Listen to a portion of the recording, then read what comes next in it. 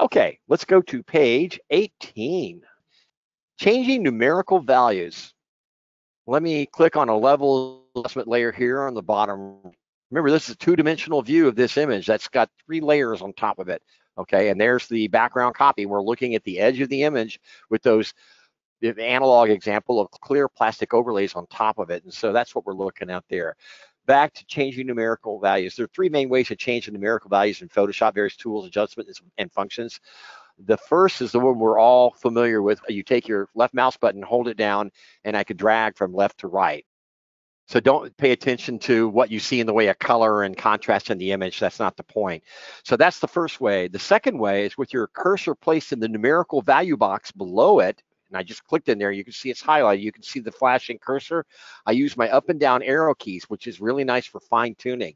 So you can think of the slider that I did the first time by holding down the left mouse button and dragging it as a coarse adjustment, and then clicking in the box below that slider and adjusting with my numerical up and down keys.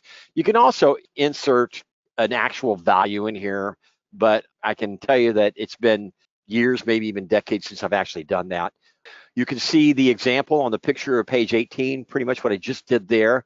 And if you're doing this and you're using the arrow keys or what have you, you can tab between the various keys. Right now I'm in the black point slider. And if I want to make an adjustment with the arrow keys and the next one over, I can hit the tab key and the tab key again. I can also hit shift tab and go back and, and forth in those. Okay, let's go to the cursor, page 19 don't like the mouse cursor shape as it shows in your image. Now, of course, I have a red, let me move that for a second. If you don't like the cursor as it shows in your image, you can't seem to find the cursor, or you just keep clicking on the image and something happens and you don't expect it, well, simply change the tool in the tools panel uh, to something less likely to give you a weird result if you click accidentally your image. So for instance, the move tool, I like because it's easily visible. You see it all over the place. And if I click it, nothing's really gonna happen right now. I also like the hand tool, which is right down here in the tools panel. And again, the same thing. It's very, very easy to see.